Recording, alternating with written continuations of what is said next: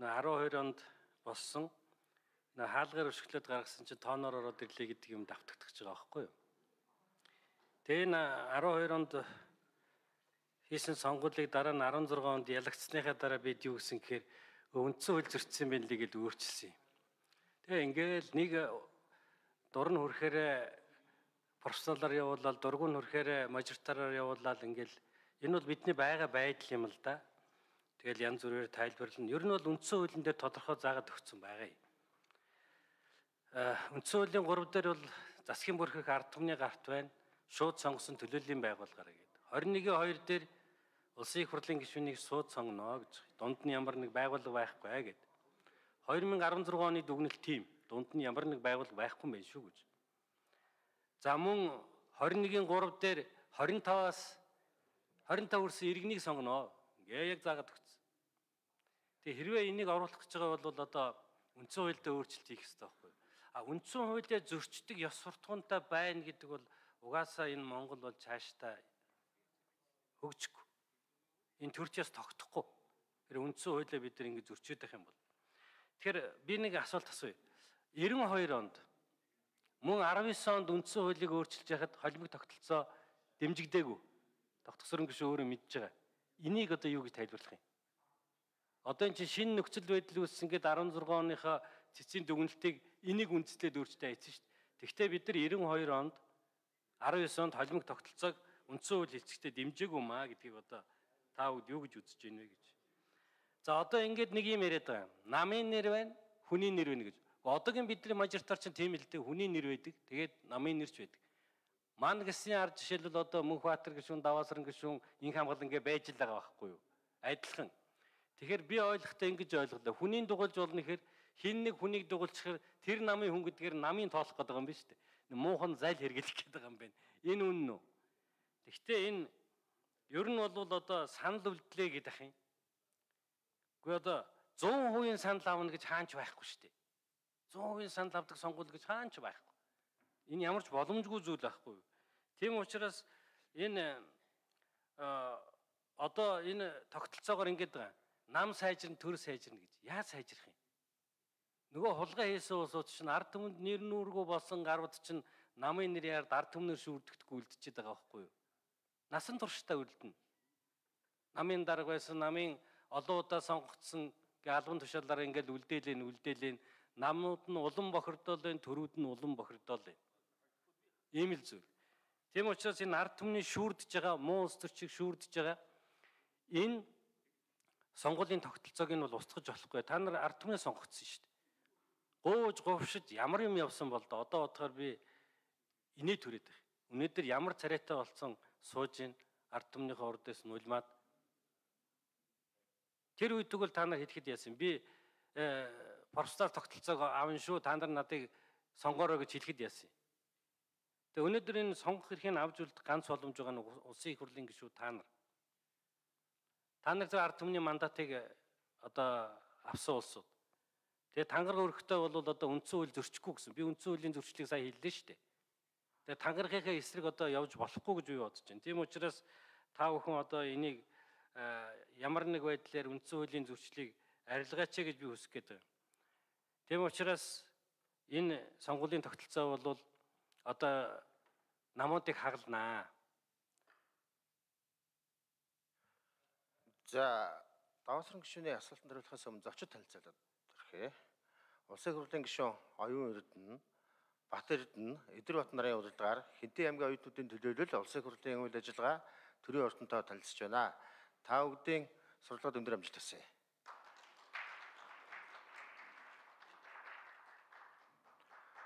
За, даваасран гишүүний асуултанд хэн хариулах вэ? За, Нямагийн их болдог гишүүн хариулъя. Энэ цэцэн шийдвэрүүд янз бүр гараад байсантай холбоотой үүсэт байдаг асуудал бол да. Ингэсэн байна лээ. Аа Үндсэн хуулийн цэц 16 оны 4 сард гаргасан шийдвэртэй Монгол Улсын их хурлын сонгуулийг холимог тогтолцоороо явуулах талаарх зохицуулсан хувь хувь тэнцвүүлсэн хэлбэрт хамаарах заалт нь үндсэн хуулийн 22-ын 2 заасан шууд сонгох зарчим болон 3 дахь хэсгийн мөн зүйлийн 3 дахь хэсгийн холбогдох заалцыг зөрчсөн гэж зөрчсөн гэсэн ийм дүгнэлт гаргасан юм байна. Тэгээд дээр нь 12 он сонгуулийн тухай хөв тэнцвүүлсэн тогтолцоонд хамааруулах хөө зохицуултын талаарх маргааныг хэлцэхдээ холимог тогтолцоогоор сонгуул явуулах нь зөрчсөн талаар тусгайлан дүгнэлт гаргаагүй юм байна. Өөрөөр хэлбэл 12 16 онд гаргасан цэцгийн хоёр дүгнэлт хоорондоо зөрчилтөө мөртлөө нэгэн зэрэг хүчин төгөлдөр байгаад байна гэж үзээд цэц 22 онд хуралдахдаа энэ хоёр тогтоол хоёулангийн хүчингү болгосон байна. Ингээ энэ хоёр тогтоол цэцэн шийдвэрээ хүчингү болчихж байгаа. Тэгээд дараа нь одоогийн бидний энэ яриад байгаа боломжийг нээсэн дүгнэлтэн дээр юу гэсэн гэхээр их хурлын сонгуулийн журмын талаар үндсэн хуулийн 21-ийн 21-р зүйлийг хилцсэн баг хурлын болон их хурлын хуралдааны тэмдэглэлүүдийг судалж үзэхэд үндсэн хууль тогтоогч болох ардын их хурл их хурлын сонгуулийн тогтолцоо болон сонгуулийн журмыг хуулиар хуулиар тогтоохыг заасан байна. Заасныг баталсан байна гэж. Хуулиар гэдэг үгээрээ байж болно гэд. 16 оны 5 дугаар дүгнэлттэй гарахтаа цэц тэр баг хурлын холбогд хуралдааны тэмдэглэлийг үндэс болгосон гэж өөрснөө тэмдэглэсэн байдаг. Баг хурал дээр нь болохоор баг хурлын тэмдэглэлээс нь үзэхээр их хурлыг бүрдүүлэх сонгуулийн тогтолцооны асуудлыг Бүгд Монгол Ард улсын баг хурлын энэ хуралдаанаас эцэрлэн эцэслэн шийдвэрлсэн гэж үзэх үндэслэл үндэслэлгүй гэсэн байна. Өөрөөр хэлбэл одоо баг хурал дээр яригдчихсэн зүйл болохоос биш яг баг хурал эцэслэн шийдсэн гэж үзээгүй 92-нд тийм учраас 92-нд их хурал сонгуулийн журмыг хуулиар тогтооно гэдээ ингээд гаргацсан юм байна. Ингиж дүгнэлт хийж байгаад одоо энэ улсын их хурл бол тэр үеийн ардын их хурлын баталсан их одоо үндсэн хуулийн дагуу сонгуулийг яаж явуулах журам, сонгуулийн тогтолцоо яаж байхыг улсын их хурл өөрөө мэдээж шийдэх эрхтэй гэдгийг баталгаажуулсан шийдвэр гарсан гэж үзээд энэ тогтоол гаргасан юм байна. Ерөөсөө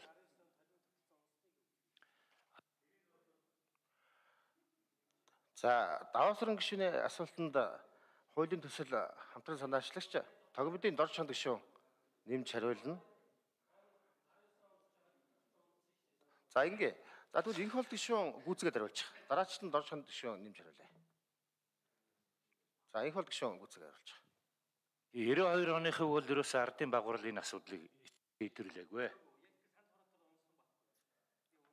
Гэхдээ харин тэгэхээр ингэсэн байна л да. Баг хурал шийддэггүй маа. А тэрийг энэ дээр юу ч алга. Тэр нь бид нарт хамаагүй баг хурлын шийдсэн асуудал шүү дээ. Баг хурал чинь үндсэн хууль биш байхгүй. Үндсэн хуулийн төсөл ярьж ирсэн байхгүй. Үндсэн хууль баг хурал батлаагүй шүү дээ. Ардын их хурал батсан. Ардын их хурал батлахтаа улсын хурлын сонгуулийн тогтолцоо болон сонгуулийн журмыг хуулиар тогтоохоор заасан байна л гэсэн байна. Тэгэхээр одоо бидний яриад тогтолцоо гэдэг чинь энийг л яриад байгаа байхгүй. Одоо нөгөө цэцгийн дүгнэлтийг л ярьж штэ. Тэг ийм л юмны үндсэн дээр бид нэр юм хийгээд байгаамаа. За 19 онд ингэсэн тогтолцоо гэдэг үг оруулсан бид нэр холимо гэж ороогүй. Бүшээ би өөрөө мэдчихэ. Яг тогтолцоо гэд ганцхан хуулиар гэж үг байсныг тогтолцоо гэж үг оруулъя гэж ярьж байгаа. Тэгээ тогтолцоо нутсан байхгүй юу? Тий. Тогтолцоо гэдэг үг уншъя. За сая бас даваасран гişээс энэ 12 оны жагсаалт бол бас хүн сонгох болцоотой байсан. Тэрүүд байгаагүй. Нэрсүүд байсан. Тэгтээ зөвхөн намын дугуулсан байхгүй. Одоо бол бид нэр явхээр хүсвэл намаа дугуул тоолно. Гаранти тэгэл тэгээ хүн дугуулах дотроос чинь жагсаалтанд орсон хүн болгон новших нь байна гэж байхгүй шүү дээ. Жагсаалтанд орсон хүн болгоныг дугуулахгүй. Тэ? Жагсаалтанд орсон хүн болгоныг дугуулахгүй. Тэгэхээр энэ нээлттэй төрүүжийнхээс зарчим хувьд өөр байхгүй юу? За, ийм л байна. За Даасрын гишүүний асуултанд хуулийн төсөл хамтран санаачлагч тогмодын дор чонд гишүүн нэмж хариулъя. За би энэ дээр бас давсрын гишүүнд бас тодорхой мэдээлэл өгмөр байгаа юм ба. Нөгөө 2012-оос 16 оны тогтолцоо бол муу байсан. Яг тэгвэл хаалттай байсан. Намын даргын иргэн тойрны хүмүүс сонгогддог. За тэгээд нэр нүүргүй ус төрчид сонгогдно. Дугаалбал нөгөө гэл ингээл ярьдаг шүү дээ. А энэ удаа бол нээлттэй юм ба. Тэгээ хоёрдугаар нөгөө бусад улс төрийн намуудынхаа байр суурийг хүндэтгээч гэж хүсэж байгаа.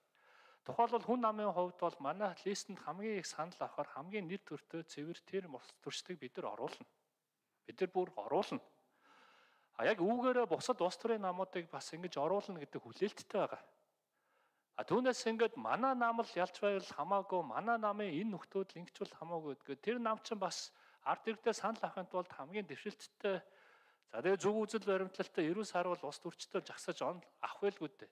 Авахгүй байх юм бол тэрийг дугуулахгүй байя гэдэг тэр акцийг бид нар хамтдаа хий гэж бодож байгаа. Үнэхээр хулгай хийж гисэн, дугаалбал нүүрсний хулгайд холбогдчихсан. Дугаалбал хөгжлийн банкны хулгайд холбогдсон мөнгөө ингээд өгдөггүй. За тэгээд олон дахин сонгогддог. Ийм нөхдүүд тэрээр лесэнд орж ирсэн бол иргэдтэй тэр мэдээллийг үгүй гэж бодож байгаа. Зөвхөн өөрийн нам хийхгүйгээр ингэж бид нар энэ листийг цэвэрлэх учиртай юм аа. А тэгээ энэ маань ингээд 1 2 3 удаа ингээд хэрэглэгдсэн тохиолдолд хөвшил болоод явцдаг, соёл болоо явцдаг. Тэгээ энэ бол иргэдийн сонгох эрх байхгүй. Гэтэл иргэдийн өмнөөс ингэчин шүүдэ гэсэн байдлаар явж байгаа нь арчсан ёс бас биш шүү. Тэгээ тийм болохоор бид нар энэ пропорционал тогтолцоог 12-оос 16 онд хийгээд ухралт гаргасан нь юу вэ гэхээр үндсэн хуулийн цэцэд захиалга өгж байгаад 2016 оны сонгуулийн 1 2 сарын өмнө өөрчилсөн. Ямар ч хилцүүлэг болоогүй. Оо, шууд сонголт гэдэг чинь хүнээ сонгох юм а гэж тайлбарлаад явчихсан. Харин энэ үндсэн хуулийн зэцсийн 01-р тогтоолол энэ 30 жилийн болонд болохгүй гэдэг асуудлыг нэг тийш нь босон. За тэгээд олон улсын За, Цэрэнбэлийн даваасран гишүүн тодруулж асаая.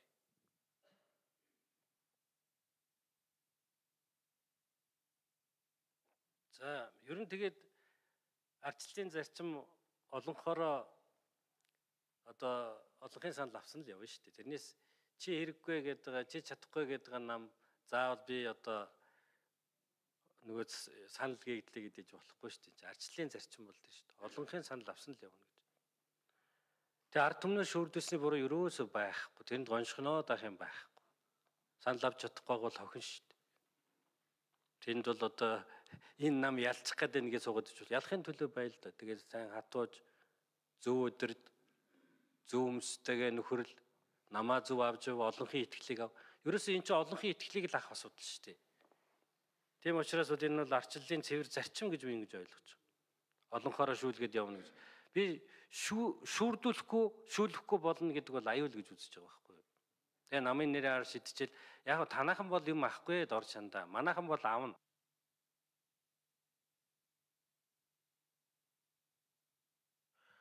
За, даваасран гишүүн санал илээ.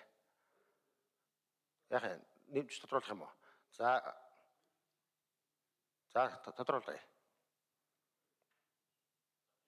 Болд ш тутаа хариулвал. За, даваасран гишүүний микрофон өгч. Ер нь бол бид нэр энэ иргэдийнхаа саналыг намд өгч байгаа гэдгийг бодох хэрэгтэй байхгүй юу? Муухай шүү дээ. Ард түмнийхээ саналыг авчаад зөндөө бол гоншхон ч үгүйсэн шүү дээ. Надыг гаргаад өгөөч гэж. Гэхдээ магадгүй энэ хууль батлагдахгүй ч гэж магадгүй шүү. Очин шүү та нар ард түмэн дээр. Та хараараа гарах нь үгүй юу? Эцсийн дүндээ бол ард түмэн шүүн.